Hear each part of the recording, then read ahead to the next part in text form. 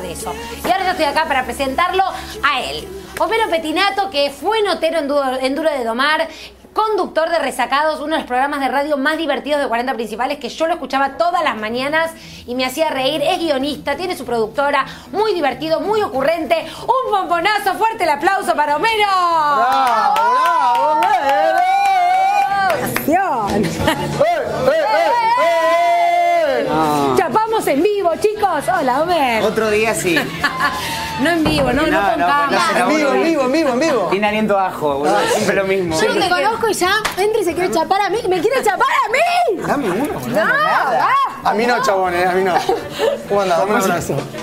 ¿Cómo Ya hecho habremos cosas peores? chapado, ya se habremos Ya habrán chapado. las cosas que habrán hermano. hecho. ¿Cómo andás? chapado. Permiso, ¿eh? Sí, obvio. Qué lindo, living. ¿El mate es de verdad o es de utilería? Es de verdad, de verdad. ¿querés- ¿cómo mate? Odio la utilería.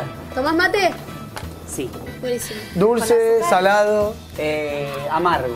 Estás como un nene de 12 años que, que, que va a mostrarle el parque de la costa, ¿viste? Como, Estoy re contento. ¿Estás acá. contento? Sí. Qué bueno. No te pone nervioso este lugar, ¿no? ¿viste? No, y en un rato vas a estar menos ¿Te nervioso. gusta dar notas, Homero?